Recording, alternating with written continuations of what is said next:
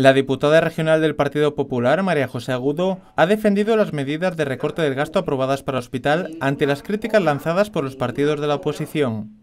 Dice Agudo que el PSOE está manipulando los datos y asegura que el cierre de 60 camas no va a implicar desatención ni pérdida de calidad asistencial. De hecho, en el PP defienden que desde que gestionan el SESCAM se ha mejorado la asistencia sanitaria del centro. Los populares señalan una vez más que las medidas de recorte son consecuencia de la gestión del gobierno socialista, por la millonaria deuda que han heredado. En cuanto a la ampliación del hospital, el Partido Popular dice que el proyecto que había era desproporcionado y que en la consejería lo están revisando.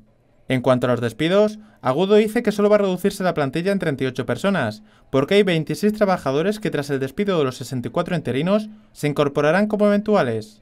En cuanto al cierre de camas, el PP defiende que los estándares de calidad de gestión apuntan a que el porcentaje óptimo de ocupación de un hospital es del 85% y que cuando el PP asumió la dirección del centro había 100 camas con un 64% de ocupación, lo que da margen para el cierre de los dos módulos anunciados.